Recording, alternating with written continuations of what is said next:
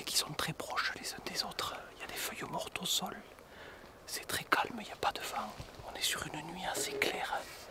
Et donc c'est très difficile de se déplacer sans, faire de bruit. Et là, elle, était assez tranquille jusque dans les 30 derniers mètres. Et quand elle commence à bouger, là, un petit peu à hésiter, euh, c'est rare qu'elle tienne jusqu'au dernier moment. Et donc le temps est très calme, sans vent, c'est pas trop à notre, à notre faveur. Et souvent, si ce sont des oiseaux qui sont là depuis le début de saison, c'est des oiseaux guéris qui sont assez méfiants. Et là, on vient de voir, ça c'est la deuxième observation. Et la première abeca, c'était euh, même encore plus sur le qui-vive. Elle a, elle a, changé de place plusieurs fois. Et donc je pense qu'on est sur une soirée où, même si on voit quelques oiseaux, on aura beaucoup de mal à, concrétiser et à capturer.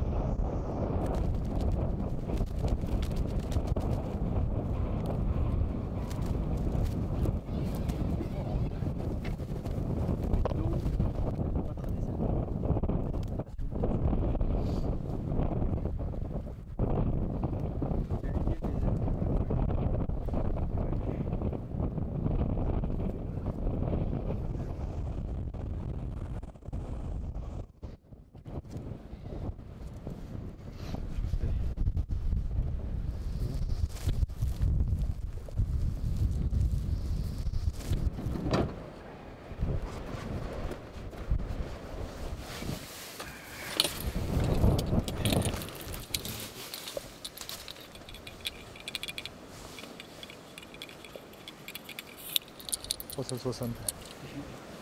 GY 66 302.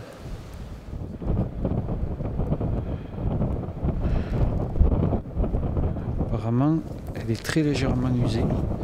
Je pense que c'est une jeune quand même. Oui, c'est une jeune. En fait, elles sont, on voit, tu vois, elles sont, pas très usées.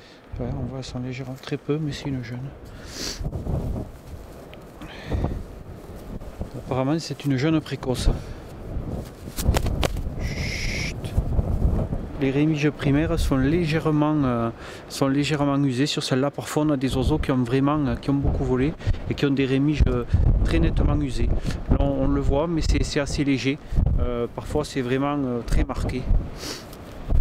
Donc, on l'a pesé, on a pris l'âge, on va la baguer à cause du vent, certainement, elle est restée plaquée au sol euh, et ça nous a permis d'approcher. Après, la difficulté avec ce vent, c'est manipuler l'épuisette, la, la canne à pêche. Euh, et au début, euh, elle se déplaçait pas mal dans les rangées de vignes, donc on s'est demandé si elle n'allait pas nous, échapper. Et le fait qu'elle se soit plaquée au sol comme ça, ça, a facilité la, capture. Hein. Certainement que le, vent l'a un petit peu certainement dérangé. Quoi.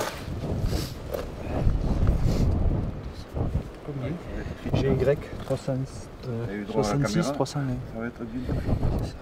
GY 66 301.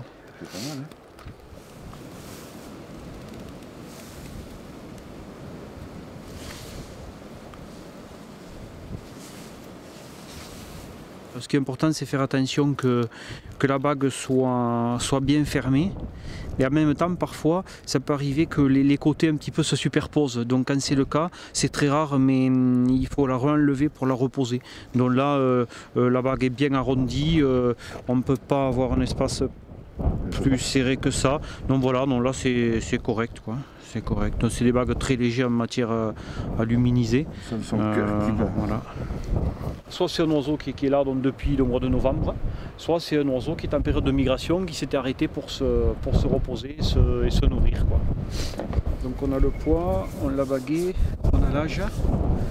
Il n'y a plus qu'à lui rendre la liberté. Allez, va doucement, va doucement. Va doucement.